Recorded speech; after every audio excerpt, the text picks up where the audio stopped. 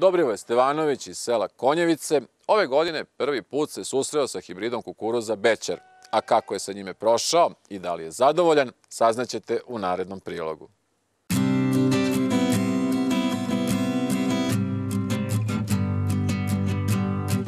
Kako je došlo do toga da sejete ovu vrstu hibrida i koliko dugo i koliko imate zasad?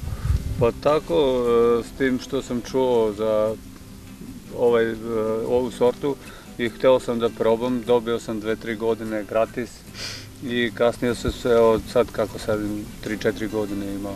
Zadovoljan sam sa prinosom, ima do 10 tone po hektaru u normalni uslovi, bez nalevanje i zasilažu isto kvalitetan i dobar je. Svake godine pravimo 50% možda i više od sadnje zasilaže. Kakvi su klipovi? Pa klipovi su normalni, šestnoredni su isto zadovoljavajući prema ove ostali.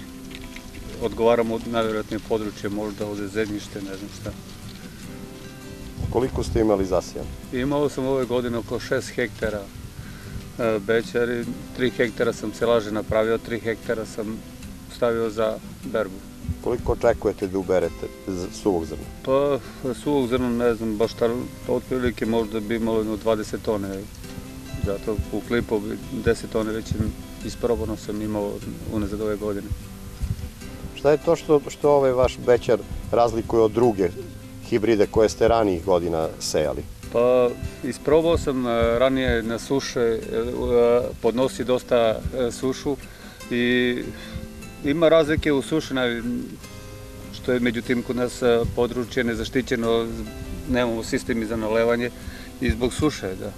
Tako i dobar je ovako, zadovoljavajući, ima dobar prinos.